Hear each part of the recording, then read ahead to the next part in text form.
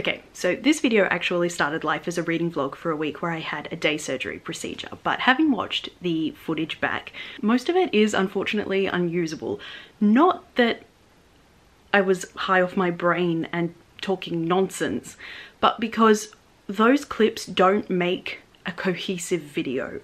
I started the week saying I'm gonna read these two books and then I didn't and then I started another book which I didn't finish and would not finish any of those books for months. In fact, one of them I'm still reading.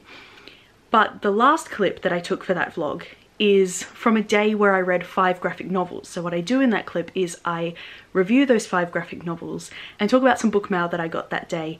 And that makes a very good video that will stand on its own, which is what this now is. I decided to make that clip into a video because in it I review books that I'm not going to get the opportunity to talk about in any other video because I'm not going to be catching up on my wrap-ups from two years ago. I don't think anybody's really interested. But the opinions about these books specifically are ones that I want to put out into the world and I will not have another opportunity to do so. So without further ado, let us time travel back to last October and I will tell you about five books, specifically graphic novels that I read that day. I'll see you soon. Here I am again with looking absolutely terrible. It's now Sunday afternoon. I haven't read a lot of what I said I was going to read, but I have read uh, quite a few things. So the books that I read were, uh, firstly I read Honor Girl by Maggie Thrash, which is a graphic memoir about Maggie's time at summer camp and the sort of romance she had going on with one of the older girls at the camp. This was okay for me. I enjoyed the camp aspect. I enjoyed the uh, friendships that she had. But when people found out what was going on with her and the other counselor, she did kind of have to deal with a lot of homophobia because of it and like everyone who had a negative opinion of what she was doing with this other girl seemed to think that it, it, was inherently predatory like and not the fact that she was 15 and the other girl was 17 but that they were both perverts because they both liked girls and I wasn't expecting it to be like this no one's ever mentioned that it is and it just sort of hit me for a six and I it really colored my enjoyment of this. I think I gave it three stars. And the other thing is that they weren't very good at communicating, which I get it, they're literally children, but the, the girl that she was involved with, whose name I can't even really remember, she was just sort of kind of hot and cold and um, liked to sort of leave Maggie somewhere and say, oh, I'll be right back and then just not come back. And so the longing I really felt and the camp setting, really enjoyed. But on the whole, I can't say that I did enjoy this or that I would read it again or that I would particularly recommend it. I just really wish that someone somewhere, even once, had mentioned the homophobia of the other characters because that would have been really nice to be prepared for. But uh, they didn't, so it's up to me to warn Yu now.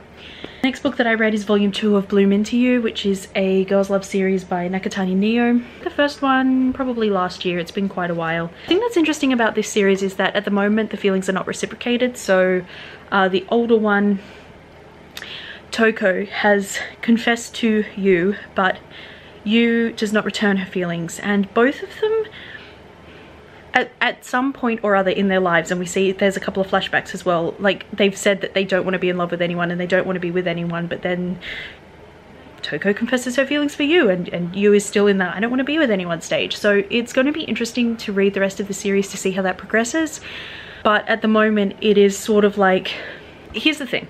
Because Toko has feelings and Yu doesn't and Yu is just sort of letting Toko express them anyway, it feels like if it's not handled carefully, it could become emotionally manipulative. But, but, I don't think that it will. I think that the author is going to handle it very delicately. I think that it's going to be a very slow burn progression of feelings on both of their parts. I'm still not completely sold on this series, but I am at least interested and invested enough to buy and read volume three.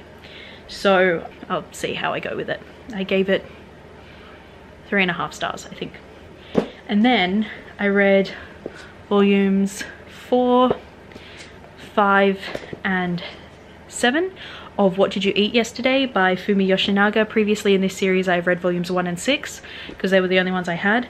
I just have a lot of love for this series. When I read volume 6 I was like it feels like it's all recipes and no plot and I do sort of stand by that because I think that there was more more in the way of character development in these three volumes than there was in volume six specifically, which is why it felt like nothing much really happened in that volume. But I really like how Shiro is slowly becoming more comfortable with the fact that he is a gay man and he is in a long-standing committed relationship and that it's going to be okay if that's a known fact in certain parts of his life. Like he works as a lawyer, so perhaps he can't be out at work and you know, that's fine.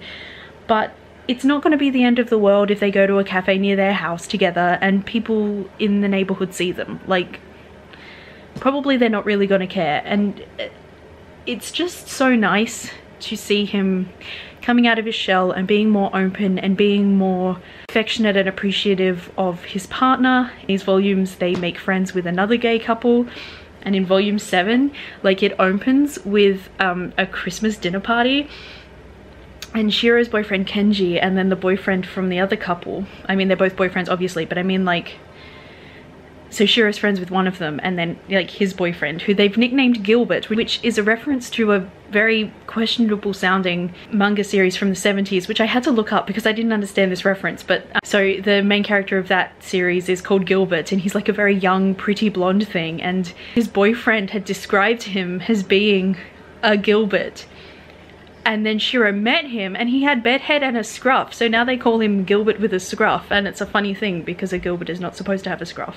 So there's this whole gay subculture thing happening that I I just am really living for. Anyway so that couple comes over and Shiro's boyfriend Kenji and Gilbert just have this complete gay off Gilbert is uh, snidely dismissive in a very polite way of everything and then Kenji is sort of like oh but my boyfriend is obviously the best we are obviously the best all of it was hilarious and I was just sitting there like giggling to myself so much because it was so funny. I have a lot of love for these characters and I am also going to try and obtain the rest of this one as well because I'm just really enjoying the the whole journey and I can't wait to see where these two end up and how much they grow over the course of the next however many volumes I have left to read. In terms of book mail, I got Gene Mapper by Taiyo Fujii, which I first heard about on um, Elizabeth from Books and Pieces channel. sounded really good. I had to buy some screen protectors and this was cheap, so I picked it up as well. And then I also got Swipe Right for Murder by Derek Milman. I bought this literally the day that I heard of it because that was also the day that it was announced that Jimmy Patterson Presents was going to cease publishing other authors and would instead just become a vanity publisher. So that's sucky. But why do we expect anything else from a completely mediocre white man, not Rick Riordan? Kathy read this, not recently, but I watched the video where she talked about it recently and it sounded really good and I've been wanting to get into thrillers anyway and one with a queer main character seemed like a good place to start. Kathy had nice things to say about it so I'm pretty excited to get into it and I really love the cover. It's even like greater in person than it looks like on the screen. I saw it and I was like, nah, it's cool. And then I saw it in person and I was like, wow. So there's that. All right, and that's it. Any of these videos that I'm uploading as backlist videos, take my opinions about Bloom Into You with a grain of salt because I did reread that series and then I talk about it as a whole in a different video which will go up soon. So just keep that in mind. But that's all I have for you for this video. If you have read any of those books and you would like to tell me what you thought, as always, feel free to leave me a comment down below. If you don't have anything to say, but you just want to let me know that you're here, leave an emoji heart in your favorite color in the comments. If you want to leave a different emoji entirely, that's fine too. Thank you very much for watching. I hope you enjoyed it and I will see you in my next video. Bye for now.